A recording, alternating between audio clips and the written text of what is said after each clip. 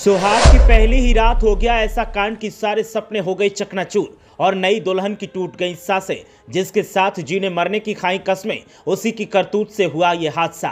Excitement में दूल्हे ने खाली पावर वाली दबाई और फिर भेड़िया बनकर दुल्हन पर टूट पड़ा। उसके बाद जो हुआ, उसने तबाह कर दी एक परिवार की खुशियाँ।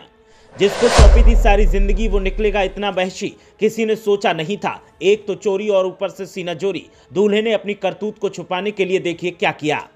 जिस रात उसने वरमाला गले में डाली थी, उस रात उसने अपना सब कुछ इस शख्स के हाथों में सौंप दिया था। जिस दिन उस लड़की ने सात फेरे लिए तो उसने शेरवानी पहने इस शख्स को अपना सब कुछ मान लिया। लेकिन उसे नहीं पता था कि ये भेड़िया ही उसके साथ ऐसी हरकत करेगा कि उसकी ज़िंदगी जहन्नुम बन जाएगी और फिर कुछ दिन बाद सांसों की डोर टूट जाएगी। अपनी बेटी के साथ जो हुआ, उसको सोच सोच कर परिवार के लोग आंसुओं में डूबे हैं। जिन अरमानों के साथ बेटी को विदा किया था, वो सब चिता की आग में राख हो गई और अब पूरा परिवार मातम में डूबा है। मामला उत्तर प्रदेश के कानपुर का है। माँ बाप की मौत के बाद भाई ने अपनी लाडली बहन को पढ़ा, लिखा कर दुल्हन बनाकर विदा किया था और सुकून इस बात का था कि अब बहन का घर बस गया तो ज़िम्मेदारी पूरी हो गई। लेकिन जिसके हाथ में इन भाई भाभी ने अपनी बहन को सौंपा था, वो भेड़िया निकला। जिस लड़के को अपने घर की इज़्ज़त सौंपी, उसी ने सुहाग रात के दिन बहन के साथ दरिंदगी की सारी हदें पार कर दी।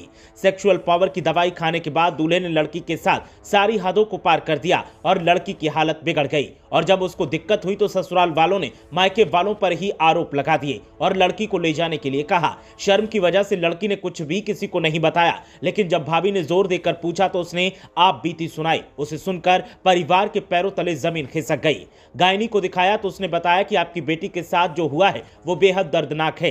वहीं दूसरी तरफ़ लड़की के साथ जो हुआ, उससे इन्फेक्शन फैल गया और लड़की की मौत हो गई। परिवार ने अब पोस्टमार्टम करवाया है और दूल्हे के खिलाफ एक्शन की मांग की है। दिवंगत लड़की के भाई भाभी का कहना है कि उन्होंने कभी नहीं सोचा था कि इतना दान दहेज देकर शादी जिसके साथ वो अपनी बेटी की कर रहे हैं, उसके साथ ऐसा सुलूक होगा। अगर उन्हें पता होता कि फेरों की आग, चिता की आग बन जाएगी तो फिर वो कभी शादी के बारे में सोचते भी नहीं।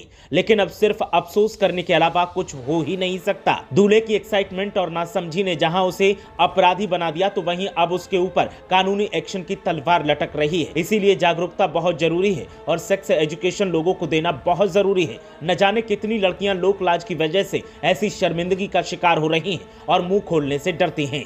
ब्यूरो रिपोर्ट मीडिया हलचल।